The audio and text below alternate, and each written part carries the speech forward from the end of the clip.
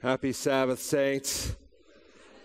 Oh, that's good enough for me. If you didn't say it, that was your chance. Not going to chide you into saying anymore. Some of you have been coming to me, and um, and I've been shameless about not remembering your name. But it's even worse than that. It's I don't know where I've seen you before. You ever do that? You ever run into people and you know you should know them? You look into their face or the way they looked at you or shouted at you, or it rings familiar with you, but you just can't quite place them. Well, I've had that happen all day today. It's because you're all moving around. But that's part of the problem is that we remember because of the context. There is um, something about seeing a person's face in the context in which you met them. And so when you see that face or you hear that voice in a different place, in a different environment, it's a little confusing. It's not as clear. There's something there, but it's not right.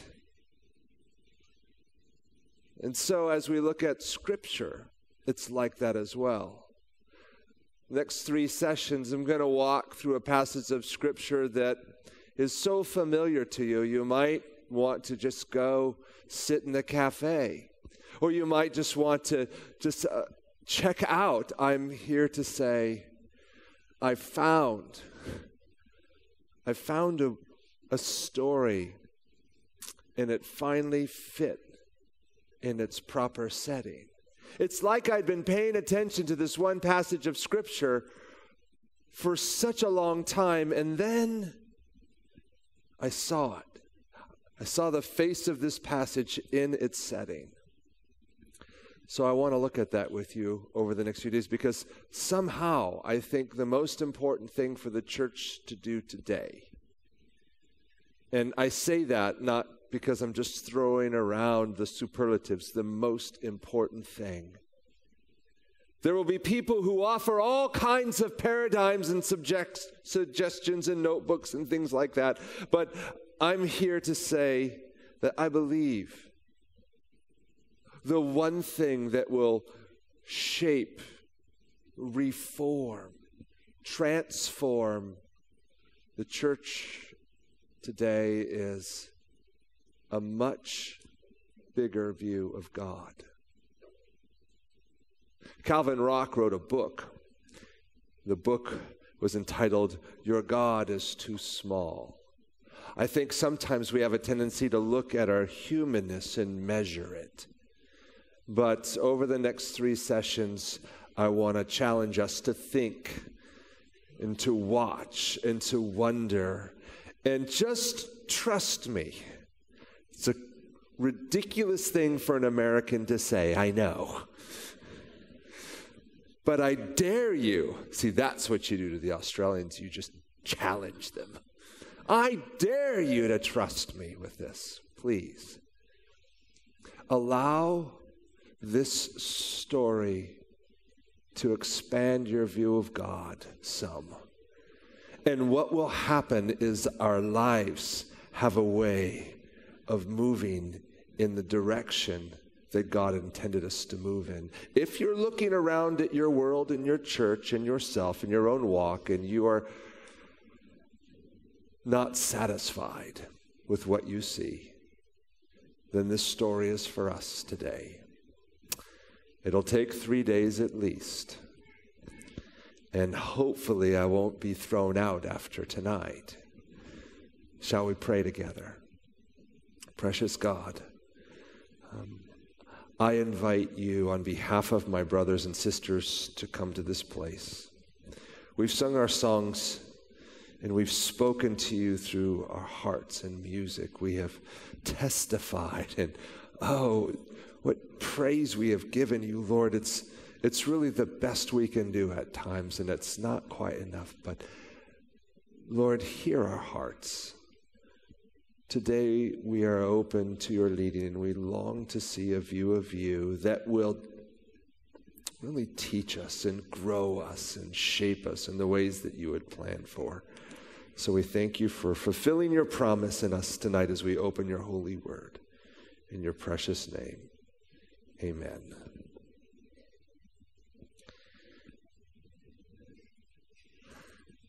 In Luke 15, the story is set. Most people don't even pay attention to the first two verses that begin this amazing passage of Scripture. It'll be very familiar to you, but we are going to walk through this passage today, or part of it, so painstakingly slow and word for word, but we're going to do it not from the perspective of an Australian or even an American or a European. We're going to go back to the setting in which the story was told. And we'll try and look at it through the eyes of someone living in the Middle East in Palestine during the time in which the story is told. But I'll just simply begin with verse 1. It begins. It says that all the tax collectors and sinners drew near to him.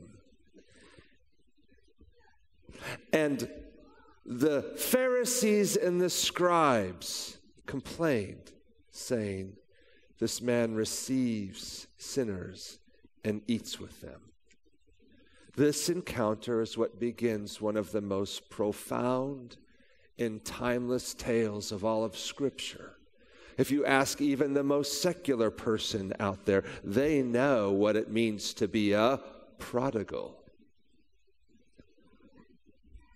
But what sets the story in motion is a complaint from the Pharisees, the religious leaders, that Jesus receives sinners and eats with them. Now, what's strange about that in this parable? Jesus is clearly reacting to conflict. Who is in the room? The sinners are obviously in the room. They've just had a meal. Who else is in the room? Well, the Pharisees and the scribes are in the room as well. As I was contemplating why this story starts this way, with this strange conflict, I, I began to wonder. It reminded me of a story that has been recently told about eating and drinking in the Middle East. You know, throughout the scriptures, I counted five times just this afternoon. It says in the Gospels of Matthew and Mark and Luke that it says that Jesus ate and drank with sinners and received them to himself there's a book that came out. It's called The Lone Survivor. Now, this book is written by Marcus Luttrell. And in the book, maybe you have heard about it, um, it's about a Navy SEAL team that is planning an attack on Taliban forces near Pakistan, just right there on the border. Uh, the story goes on throughout this narrative that two goat herders happened upon this small company of Navy SEALs, these highly trained special forces soldiers. And when these two goat herders happened upon them and they saw them, there was a moral conundrum among the officers of that small company. They had to respond to these two local goat herders that just witnessed them that according to the mission protocol, it was well within their rights to quietly eliminate these two witnesses to their position. Because what would end up happening is, is they would go and tell the Taliban, their own people, that there are American forces ready to attack. And so they had to make a decision, but these are two innocents. One of them was a 14 year old boy. And that day, Lieutenant Murphy made the decision to leave the two goat herders alone. They chose not to stop them. And as the story unfolds, they revealed those two goat herders ran and told the Taliban. They revealed the location, and the Taliban attacked this small company and destroyed all of them but one. One remained alive, but wounded, not just with lacerations, but with bullet wounds.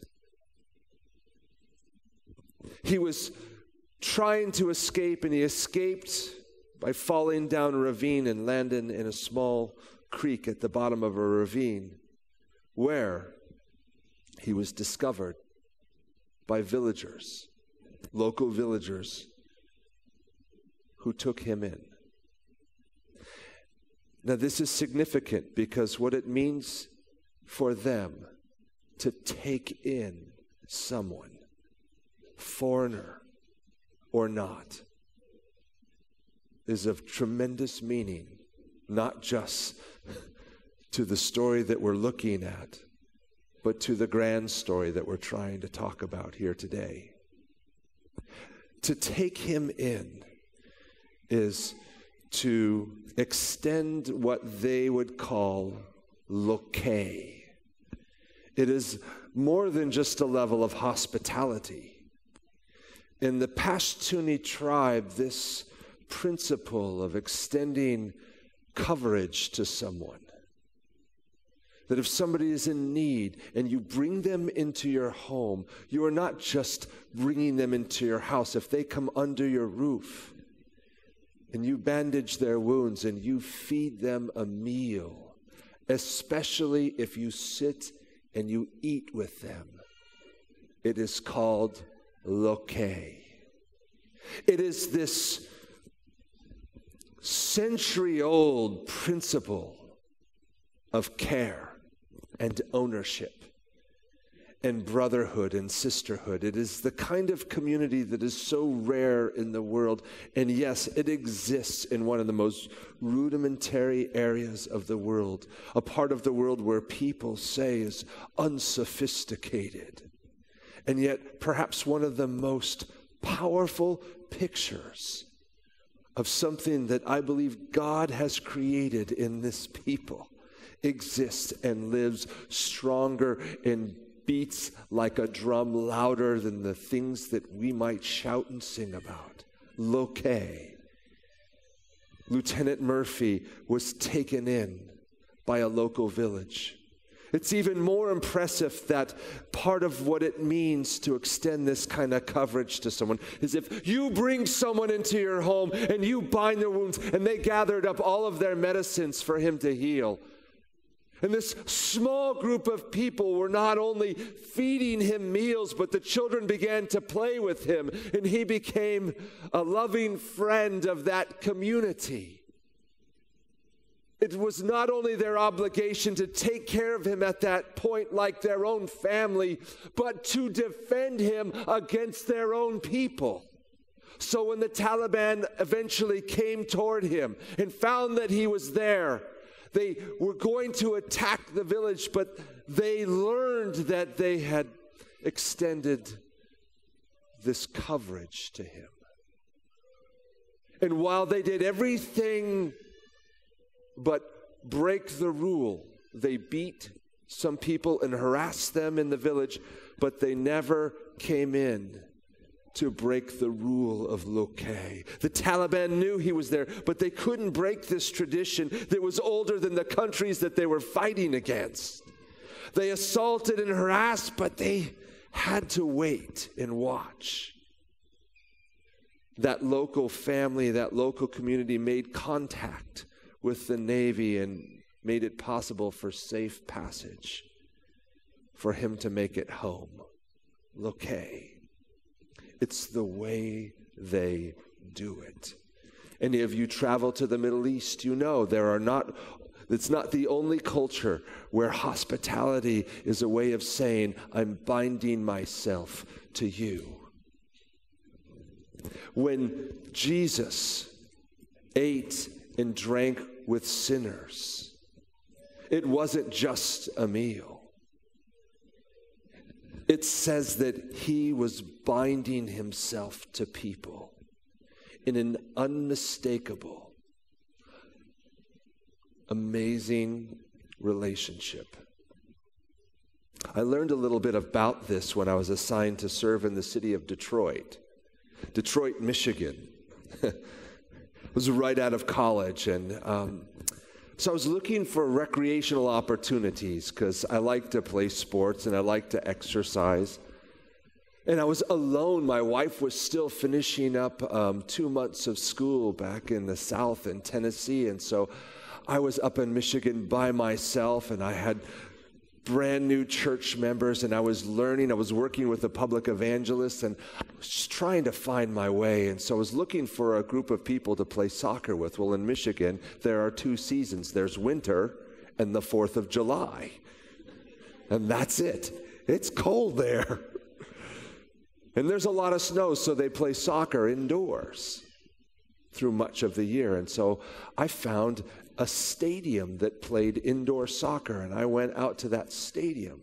It was in 1992 that I went there, just as the Gulf War was ending, the first Gulf War. I looked inside this giant facility and I was alone as I walked in.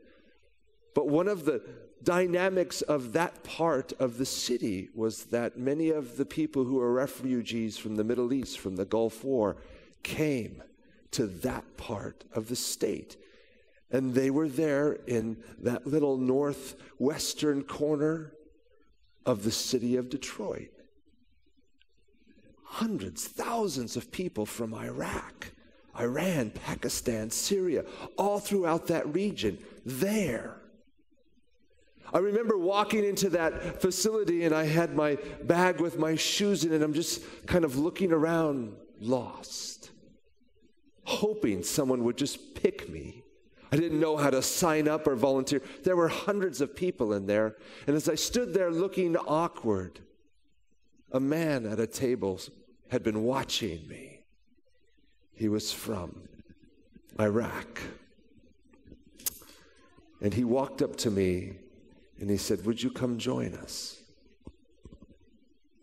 And I said, Yeah, I don't know. He says, You look lost. and I said, Yes, I, I don't. How do you get on a team and how do you play? And he looked at me with his just big brown eyes and he said, You will come play with us. And I went over to the table and I sat down. And I'd never been in a more foreign setting in all of my life. There were men and women and little kids. The children were looking at me like I was a monster, but they were there. And we sat around this table and they began to talk to me and ask me questions, and I would ask them questions. And I soon learned I was in way over my head. In a very simple way, they covered me. I went to play with them and I played for a whole season with this community of people. Occasionally, we'd talk about religion and faith, and many of them were of the Muslim faith. And as we talked, there were even moments where we would ask each other pointed questions. But most of all, I listened and told stories and I asked questions. And I asked questions about this story. What do you think? And I learned, but most of all, what I learned is, is that in that part of the world, if you eat and you drink and you bring someone in, you are part of their family in such an undeniable way. I learned that. And so now, when I read this scripture, the scripture that's 2,000 years old, it's like seeing someone's face that you know you should recognize. And now it starts to make sense. Why were the Pharisees so upset with Jesus? It's because Jesus chose to bind himself to people in an unmistakable, irrevocable way. It says in the text that Jesus, in response to that, spoke this parable. Okay, saints, is the word parable singular or plural? It's not a quiz question, come on. It's a singular word, right? So, which parable is he talking about? Because we know that there are several, right? There's the parable of the lost sheep, and then there's the parable of the lost coin, and then there's the prodigal son, and then there's that other guy, right? The add on, where if the preacher runs out of time, he forgets about the older son. It's likely that we've missed the boat. He says he told them this one parable. This is one story, one purpose, really one message with four parts. And they all pretty much say the same thing. Walk with me through the passage, if you will. Jesus actually asked the question Which one of you, having a hundred sheep, and loses one of them, does not leave the 99 in the wilderness and go after the one until the, the one that is lost is found, until he finds it. Which one of you is the phrase that he begins this with. Now, who is he talking to again? Keep that in mind. He's talking to the the Pharisees. Which one of you to say this to a Pharisee was in a way to challenge them? It was a way to challenge the way they viewed the world. You may have heard back then that people, um, how did they view shepherds? With honor or disrepute? They didn't like shepherds. Shepherds came into the category of those people who were not held in high esteem. They were considered unclean by the Pharisees. Either an immoral person, it was in the classification of being a quote, sinner. Sinners had two categories those people who were considered immoral, in other words, you just behave poorly. And then there was another classification of sinner that had nothing to do with the way you behave, but it had to do with your occupation or your nationality or who you hang around with. You were considered unclean and there were certain trades that people had that were considered disrespectful. And shepherds of all the trades out there was in the category, according to the Pharisees of that time, as being one of those disrespectful trades. Now, isn't that seem interesting to you?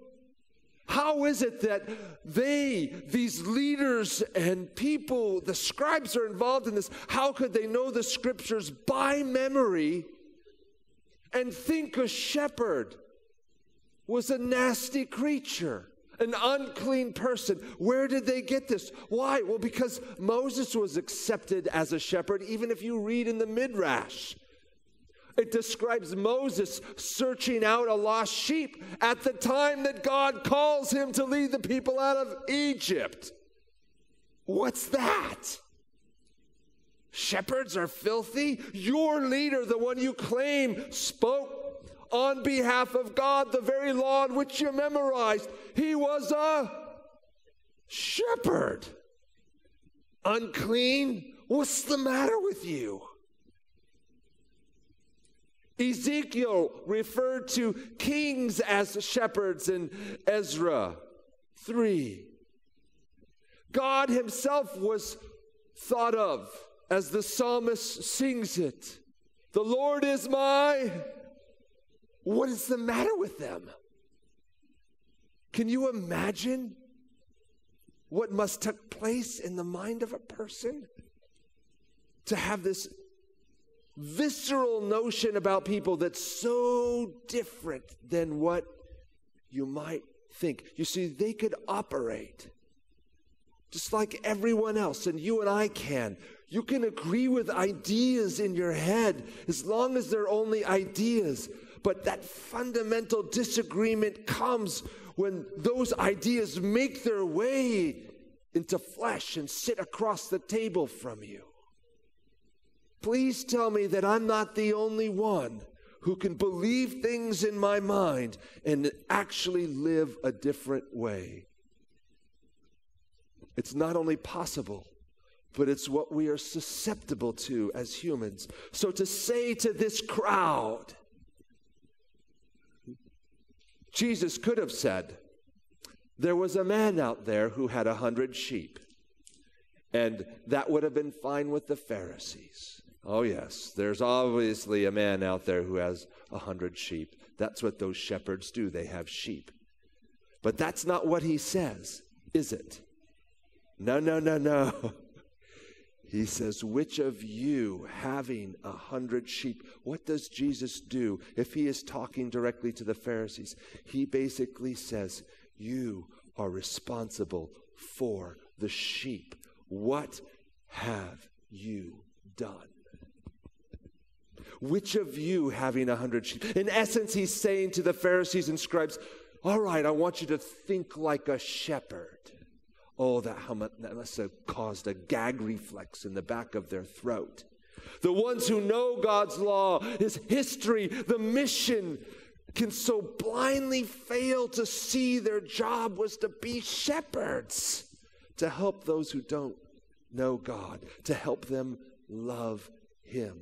That was their job.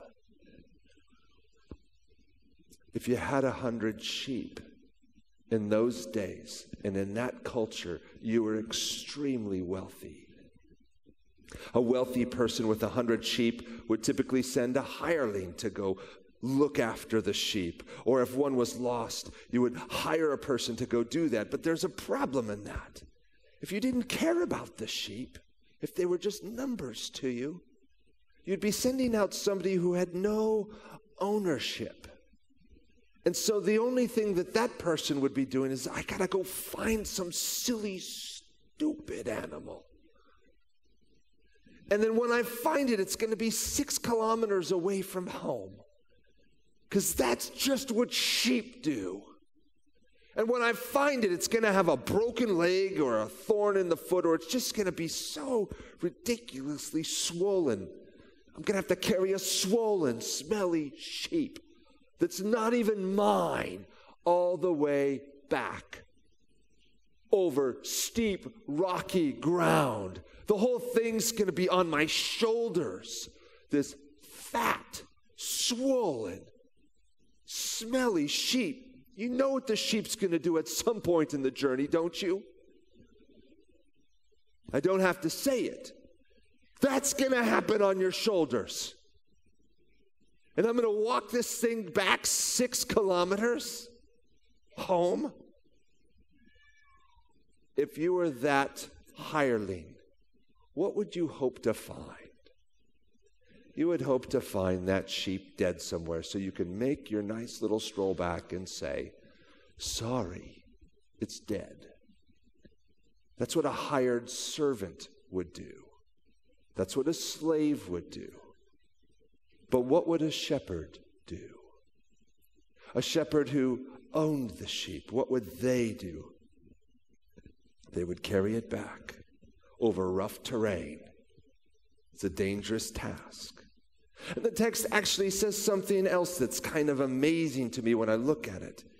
Just linguistically, it says that this shepherd, having lost one of them, did this shepherd, I mean, remember what we said last night? Did God lose us? Did he cause us to go away? Now, wait a minute, we'll get to that again. But remember what we're attempting to do here. We're attempting to expand our view of God, not to make him less, but to make him more of us.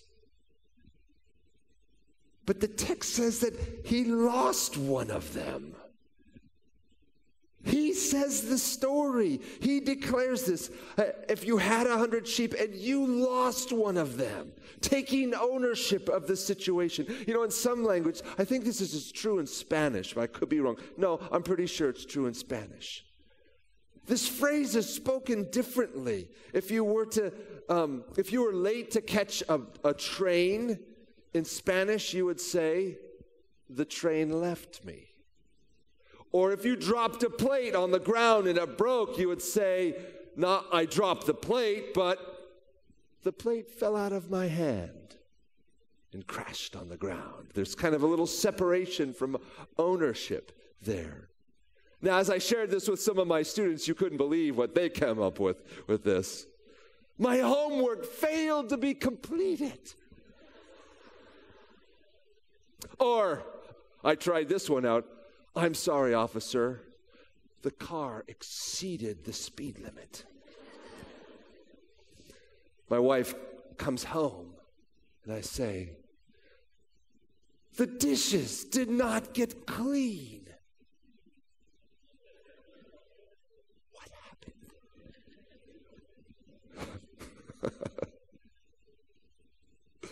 but here in this story, Jesus says, If you have a hundred sheep, you lost one of them. It's taken responsibility for the losing. It's not blame, because let me just say blame is an immature and selfish response in human relationships. It's built on fear, but responsibility is a better word. Last night we referred to believing in, in a God who becomes big enough in our mind to assume responsibility for the condition of the world. Do not give credit to the evil one for everything. You know what he has done and what he started in the human experience. But let's let's not make evil and goodness co-equal. They are not. Lucifer was a created angel. And he is not in some conflict with Christ where they wrestle back and forth, trading blows upon blows back and forth. That's not the way it works. He was cast out of heaven. And the only way that God saw in his way of doing things, in his world, which blows my mind and stretches my thinking, is to be willing to take us all on a very long, arduous journey that at certain points of history get dark, but he was willing to take us through that in order to take us home one day. And if you think there is a better way to get us home, other than paying for us and walking that road to the cross, then you might as well suggest it to him. But in the absence of a better plan to redeem all of humanity and restore the character of God in all of the universe, and to find some sucker out there that's good enough and willing to pay for us, ah, I suggest you offer that suggestion to God. But in the absence of a good solution, what do we have? We have the best solution where God says, I created you with the ability to choose and a willingness to allow things to go wrong, even if it means I have got to right them with my own sacrifice. I will do this. I don't have a better way to explain this other than say our God has to grow so big and great in our mind that we allow Him to be the winner of this great and mighty story. He is big enough to tell it for us. And I'm okay saying, All right, what do you want me to do? What can I do?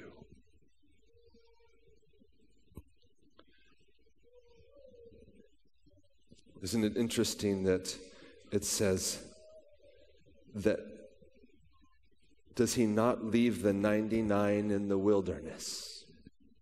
Remember reading that? Or is the image in your mind that when he left the 99, they were all safe in some paddock or some fenced off area or perhaps in a cave? He doesn't leave them there, though, does he? According to Jesus, he leaves the 99 in the wilderness. What might that have said to a Pharisee? Were there other moments where people wandered in the wilderness, waiting for what we call a deep, true repentance? Remember how often the children of Israel tried to fight their way into God's graces. All these things we will. Uh, did it work? Why couldn't they just read three verses before that says, I have borne you out on eagle's wings. I have redeemed you from your slavery. I have purchased you from the Egyptians. I have a plan to take you to a land of milk and honey. I will make you a kingdom of priests and kings. I have done these things for you. And what did they say? We got it from here. All these things we will do. He left the 99 in the wilderness. And for so long, I thought they were safe in the pen. The image of the shepherd going after one and leaving the others bundled up safely at home. But as Jesus tells the story, that's not where they're at. And there's a reason for that. Later, Jesus will say there is more joy in heaven over one sinner who repents than over 99 who don't think they need to repent. Now, are you hearing the story clearly? He's bound himself with a bunch of sinners the way they were supposed to bind themselves to sinners. He has extended to them the invitation to eat and bring coverage to them the way they were supposed to do it. And on behalf of the name of God, with a sense of they were to go after them until they found them, but they didn't. In this story, we have a new definition of repentance. Well, if I were to ask you to give me your definition of repentance, what would you say? Well, some of you might go to the Greek and say, well, the word metanoeo, don't even know if I pronounced that right. But the word means to have a change of mind. That's not good enough for some Adventists. They say, no, no, no, no, no, it's not, it can't be just that, because we need a changed life. Well, the word actually implies that. It implies that you're walking in one direction and you change your mind in such a way that the direction of your feet change direction. But it's mainly a change of mind. Metanoeo, repentance. But Jesus redefines the word here a little bit for us in the context of this story. Notice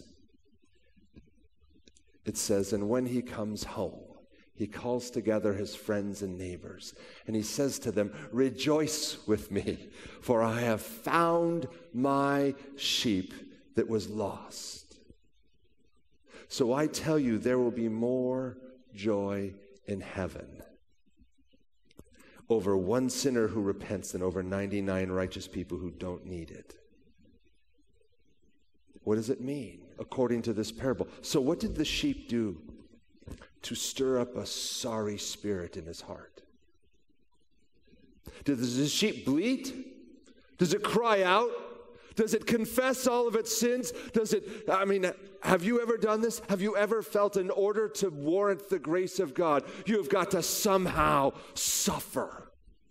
Inside. You have got to exploit all the brokenness inside of you, bring it to the front and say, Here it is, God, now can I have some grace?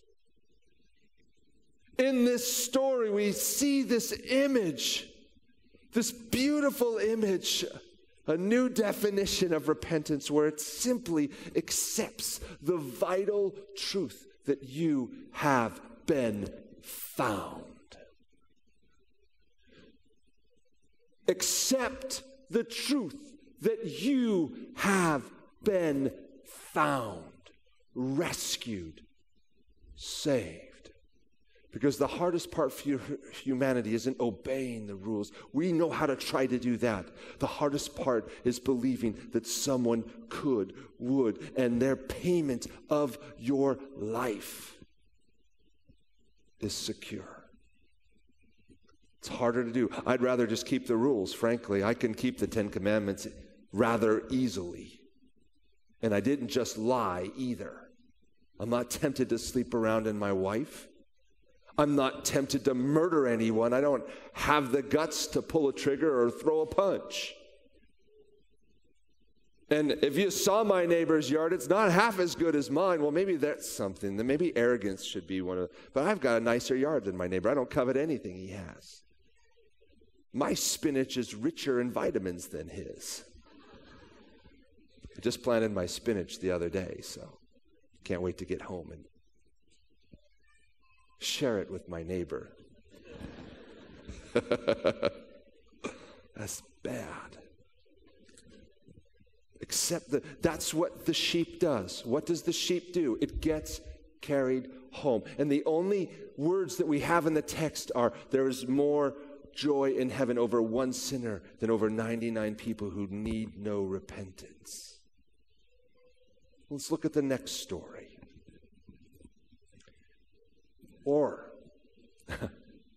who is he talking to? He's talking to the Pharisees. And now what does he do? If being a shepherd wasn't bad enough, now what does he say? Or what woman having 10 silver coins loses one coin? In this parable, what does Jesus so dramatically do? Who is the shepherd in the first parable? It should have been the Pharisees, but it's not. He says that He is the shepherd. God is the shepherd who goes and brings people back. And now, if it's the woman who loses a coin, who is God? You don't like to say it, do you? All the women are saying, I hope somebody says it. Somebody, he better say it or he's going back to the United States. That's right. In this parable, Jesus uses a woman to describe God. That should not shock us if you have Genesis in your Bible. For man and woman together make the image of God. And so he says, I'll say it through a man, a shepherd, and I'm going to say it through a woman. And I probably won't say it again, and I probably won't be invited back. Actually, you folks are pretty good.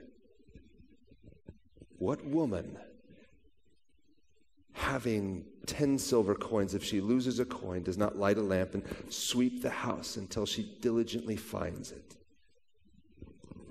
Again, in this passage, it's the woman who loses the coin. But then again, they search until they find it. What is that? searching until you find it. We have our limits for searching, don't we? We have our limits for evangelism. We have the things that we are willing to do and the things that we are not willing to. We have limits.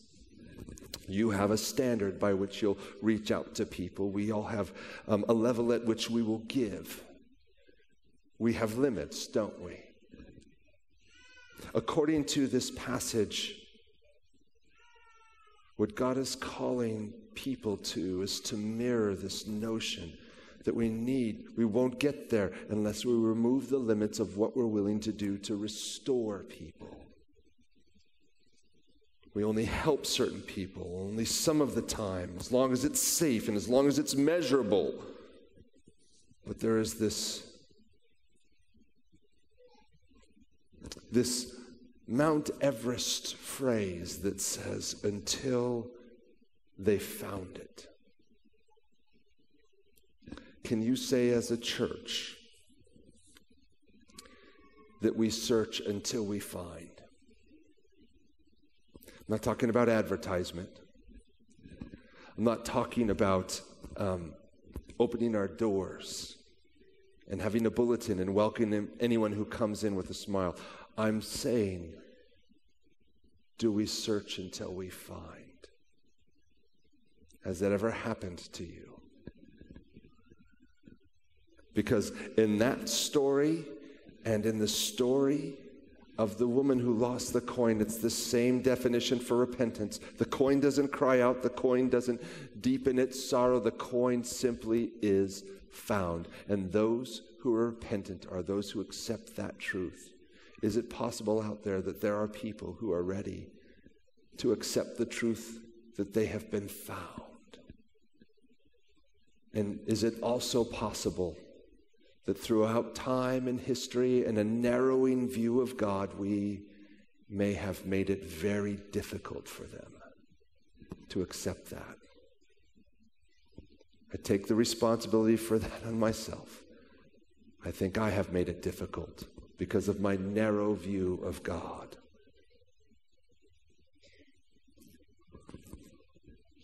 In the first parable, Jesus calls the Pharisees to be like shepherds because God is like a shepherd. And now Jesus depicts God as a woman. In the process, Jesus elevates the worth of all women by so closely identifying himself with a woman. But the truth is the same. Are we ready to do it all?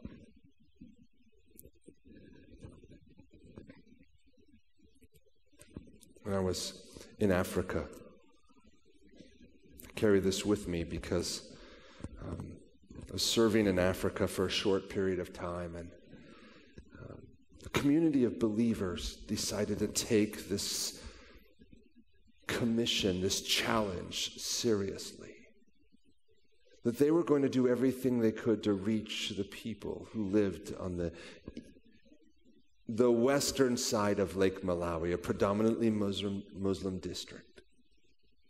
And they began to go after people with this notion that there is a Savior that has found them. They did everything that they possibly could. I remember we came out to help them, and I remember standing at this stadium with thousands of people on the lawn, but there were these eyes in the darkness back by the trees. And when the lights would shine through, you could see eyes like you do at night of animals. But there were people, and I asked, What's going on? He says, Those are the people that we will not give up on. I said, Who are they? What are they? They're the Muslims. the what? Those are the people in the village that can't come out in public and listen to the story of Christ, and so they come to the trees. But we have a plan. Well, how long have you been working on this plan? We have been working for years to try and gather and share and help. I told the story of Christ and did my very best. I received the next time I went, about a year later, this hijab. It's the garment that women in the Muslim world cover their heads with. It's a, it's a symbol of um, honor, but it's also a distance. It's a covering between us and, and God and the Almighty. And I received a, a note with this in the package. It was from a community of faith that decided to take this seriously. Her name is Kilail, and she said, I've become a Christian believer, and I have found my faith in Jesus Christ to be enough. I've had to leave my community, but then she went on to describe the slow, expensive, timeless, tireless work that that community of people did to restore one woman. Of the thousands that were standing back at the trees, they kept going until one, they found her. She removed herself from that community and they gathered around her with a home. The church provided a home, schooling for her children, protection for her when she was in town. They went and restored her. I decided this year that I'm going to devote my life to relentlessly pursuing the mission of God to reach people until they are found. And so what does this mean for us today? What is this beginning of this story? Because it's just going to repeat over and over again. I have no other message for you. So if you like what the primary kids are doing, or if you want to go see juniors and wash cars and do other things, you're welcome. This message will get repeated in some different ways, and maybe it'll land on your heart and ring a bell in you. But I'm here to tell you that this is what we're meant to be about. Jesus defends his mission by eating and drinking with sinners and binding ourselves to the brokenness of humanity. We have to get dirty. The story is told in the hearing of sinners, but directly to the leaders.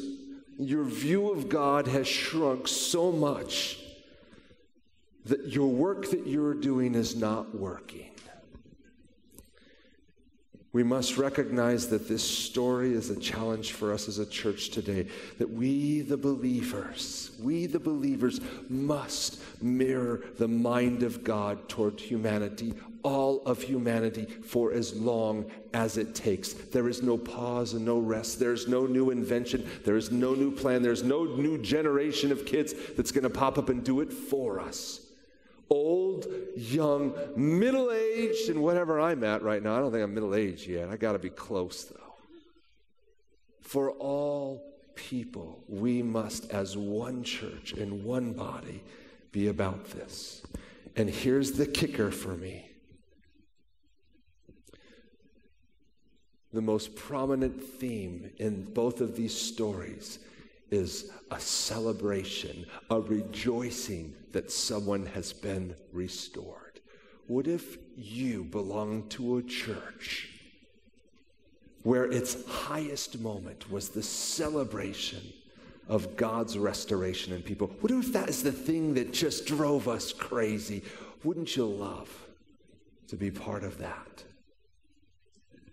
I know I would.